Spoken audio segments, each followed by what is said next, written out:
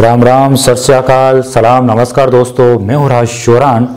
आज बात करेंगे डॉग की स्किन से रिलेटेड प्रॉब्लम के बारे में। यानी आपने देखा होगा कि बहुत सारे डॉग को खुजली हो जाती है। हमेशा वो खुजाते रहते हैं और ये धीरे धीरे प्रॉब्लम लास्ट में जाके बढ़ जाती है।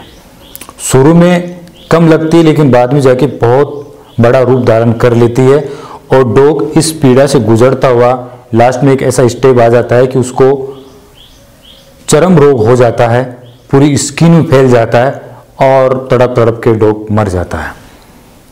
तो इस वीडियो में आज जानेंगे कि सबसे पहले कारण जानेंगे ये रोग क्यों होता है, उसके बाद में इसका समाधान के बारे में जानेंगे। जब तक कारणों का मालूम नहीं चलेगा, तब तक आप समाधान सही प्रकार से नहीं कर पाओगे। इसलिए सबसे पहले क्या करना है दोस्तों, यदि यदि आपके डॉग में ये प्रॉब्लम है तो क्यों हो रही है? तो जहाँ डोग रहता है, वहाँ आपको साफ़ सफ़ाई रखनी है। क्योंकि ये गंदगी से होता है। डोग जहाँ रह रहा है, वहाँ आप सफ़ाई नहीं रखते हैं। डोग अधिकतर पानी के अंदर रहता है, कीचड़ में रहता है, गंदगी में रहता है। तो ये रोग धीरे धीरे बढ़ जाता है। इसलिए जहाँ डोग रह रहा है, वहाँ उस जगह हमेशा धूप जानी चाहिए। यदि उसकी चटाई है, मैट है या बोरी है, उसको आप धूप में सुखाइए। डोग को हम कई महीनों तक नहलाते नहीं है। तो उससे भी खुजली होना शुरू हो जाती है। इसलिए जब भी आप डॉग को नहलाओ, कम से कम एक वीक में तो डॉग को नहलाना ज़रूरी है। आप एक अच्छे से शैम्पू से नहला सकते हैं, जो एंटीबायोटिक है, जो ट्रिक का, के जो चिचड़े हो जाते हैं, उनका शैम्पू भी आता है। इसलिए आप यदि डॉग को नहीं नहलाते हैं, गंदगी में रहता है तो ये रोग डेफिनेट आता है। दूसरा रीजन है कि जहाँ मंदिर होते हैं या जहाँ आसपास में प्रोग्राम होते हैं तो वो लोग अक्सर क्या होते हैं, जो पातल ढूंढे होते हैं, उनमें मीठा छोड़ देते हैं या प्रसाद के रूप में डोग को मीठा देते हैं, मिठाई देते हैं। ये भी सबसे ज़्यादा प्रॉब्लम होती है और ये ज़्यादा जो स्ट्रीट डॉग होते हैं, उनमें ये सबसे ज़्यादा प्रॉब्लम होती है, क्योंकि बेचारे कहीं से भी पातल ढूंढों में, कचरा में मुँह डाल के वो खाते हैं, मीठा वगैरह ढूँढने की कोशिश करते हैं, क्योंकि भूख सबसे बड़ी चीज़ है तो भूख के लिए वो कुछ भी खा सकते हैं। इसलिए उनमें सबसे ज़्यादा प्रॉब्लम होती है। इसलिए डॉग को कभी भी मीठा नहीं देना चाहिए। हम देखते हैं यार, घर के अंदर पकवान बनाए थोड़ा सा दे देते हैं। लेकिन आपकी थोड़ी सी लापरवाही के कारण धीरे धीरे उसकी स्किन में प्रॉब्लम होती जाती है। इसलिए कभी भी चाहे आप कितने भी इमोशनल क्यों ना हो, जब खाना खाते हैं, डॉग ज़रूर देखता है। लेकिन कम से कम आपको उसका ख्याल भी रखना है। आप और चीज़ दे सकते हैं, लेकिन मिठाई नहीं देना है। मिठाई से स्किन में प्रॉब्लम होगी, खुजली हो जाएगी दाग हो जाएगा लास्ट में जाके चरम रोग हो जाएगा। इसी प्रकार डॉग को नहीं, कभी घी देना है। घी कुत्ते के दिमाग को गला देता है। इसलिए मीठा और घी ये डॉग के लिए बहुत डेंजर है। तो ये सब कुछ कारण है। अब जानते हैं इसका समाधान। दोस्तों, यदि आपके डॉग में स्किन की प्रॉब्लम है, हमेशा खुजाता है तो सबसे पहले तो क्या करना है कि उसके बाल ज़्यादा है तो बालों को छोटा करना है कटिंग करनी है। उसके बाद में जब आप उसको नहलाते हैं तो नहलाने से पहले क्या करना है कि नीम के पत्ते लेके आना है। हरे पत्ते यानी कच्चे पत्ते लेके आना है और तमाकू के पत्ते भी ले सकते हैं, या फिर डायरेक्टली सूखी तमाकू भी ले सकते हैं। इन दोनों को धीरे धीरे पानी के अंदर उबालना है। ढक्कन को बंद करके एक या दो लीटर के अंदर पानी के अंदर उबालना है, अच्छी तरह से उबल जाए।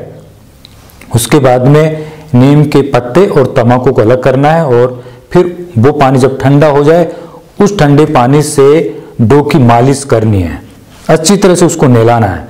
जब सूख जाए, उसके बाद में आप एक अच्छे से शैम्पू से या जो जो डॉग की साबुन अलग से आती है, वो भी आप यूज़ कर सकते हैं। या फिर क्या करना है कि हम सिंपल पाउडर यूज़ करते हैं तो सिंपल पाउडर की जगह आपको बोरिक पाउडर यूज़ कर सकते हैं, जो भी एक एंटीबायोटिक होता है, वो भी कीटाणु को ख़त्म करता है। तो आप बोरिक पाउडर यूज़ कर सकते हैं। तो आपको ऐसा करना है, यदि आप ऐसा करते हैं तो खुजली धीरे धीरे कम हो जाएगी। आपको ऐसा रोज करना है। नीम का पानी और तमाकू का पानी रोज आपको यूज़ करना है। इसकी जगह आप नीम का तेल भी यूज़ कर सकते हैं। नीम के तेल की मालिश भी कर सकते हैं। ऐसा करते हैं तो स्किन की प्रॉब्लम धीरे धीरे दूर हो जाएगी। दोस्तों, आपने देवदार पेड़ का नाम सुना होगा। देवदार पेड़ के पत्ते और लकड़ियाँ दोनों ही एंटीबायोटिक होती है। ये जीवाणु को बड़ी फास्ट गति से खत्म करती है।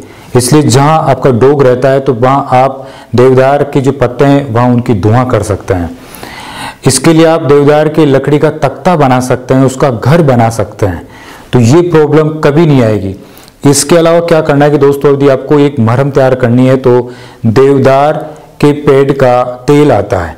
वो आपको आसानी से बाज़ार में मिल जाएगा, जहाँ औषधियाँ मिलती है, वहाँ से आपको तेल लेके आना है, देवदार का तेल लेके आना है।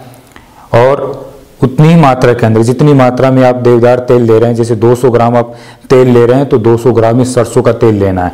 दोनों को मिक्स करना है और फिर डो के बॉडी पर मालिश करना है।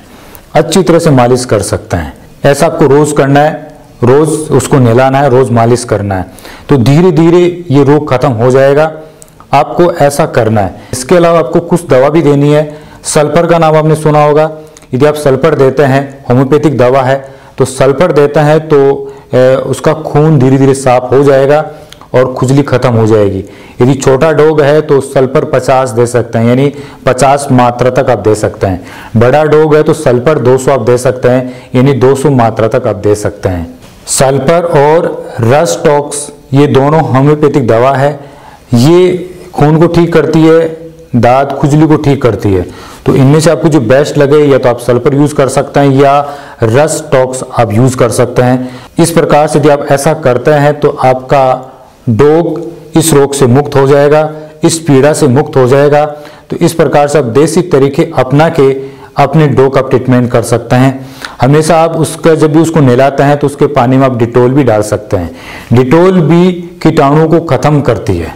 इस प्रकार से बहुत सारे फॉर्मूले हैं लेकिन मैं आपको एक नॉर्मल तरीके से जो आप आसानी से अपने घर में यूज़ कर सकते हैं और डो को किसी प्रकार की पीड़ा ना हो वो फॉर्मूला हमने बताने की कोशिश की है। तो, तो दोस्तों वीडियो ज़रूर पसंद आया होगा तो इस वीडियो को शेयर कीजिए। फिर आपके सामने हम यूनिक और डिफरेंट वीडियो लेके प्रेजेंट होंगे। तब तक के लिए ओके बाय